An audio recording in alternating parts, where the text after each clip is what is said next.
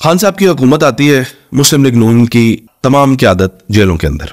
नून league की हुकूमत आती है खान साहब की जमात के लोग जेलों के अंदर।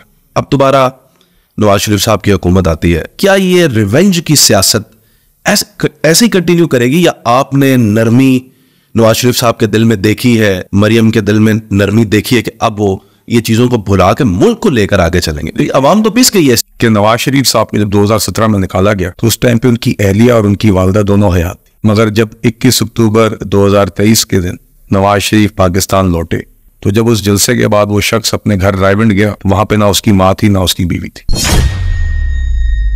आपके वालिद मोहतरम ने मियाँ साहब के दिल का इलाज किया था। मेरे मेरे वालिद साहब कभी यानी उनका किरदार कितना है? नहीं मेरे वालिद साहब कभी भी नवाज़ शरीफ साहब के मुआलिज नहीं रहे। नहीं जेल में तो इलाज किया। नहीं नहीं जी इलाज नहीं था। बैक वक्त दो मिनिस्टर जेलम से कभी नहीं हुए। इस दफ़ा भी एक मिनिस्टर एक्सपेक्ट करे या दो मिनिस्टर? हो सकता देखिए बात ये आसिफ भाई मैं कम अज कम इन चीज़ों के बारे में कैंपेन के दौरान नहीं सोच रहा। पाँच साल देख रहे हैं आप अपने आप? नहीं देखिए। Never in his tenure he completed five कौन? मियाँ साहब की बात कर रहा हूँ। इंशाल्लाह जी इंशाल्लाह। देखिए पाँच साल की हुकूमतों ने कंप्लीट किया है। बदकिस्मती है कि 2013 से 17 में नवाज़ शरीफ साहब को हटाया गया।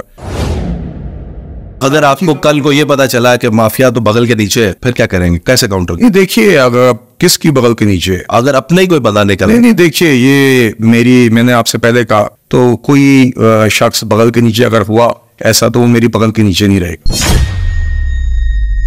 जेलम में होने वाली करप्शन का भी अंदाज़ा है पटवार खानों में क्या हो रहा है? म्यूनसिपल कॉरपोरेशन में क्या हो रहा है? आवाम कैसे लुट रही है? तो इसके ऊपर आपका क्या स्टांस है? आसिफ भाई बड़ा क्लियर स्टांस है। मेरे इल्म में कहीं पे भी ऐसी बात आई नंबर वन उसको बड़ी संजीदगी से लिया जाएगा। देखिए मैं आपके इल्म में हमने नोटिस में नहीं, नहीं। आप लाए एविडेंस नहीं बिल्कुल आप लाए आप एक दफ़ा इलेक्ट तो होकर आ जाए हमने ही आपको नहीं नहीं आप लाए आप लाए।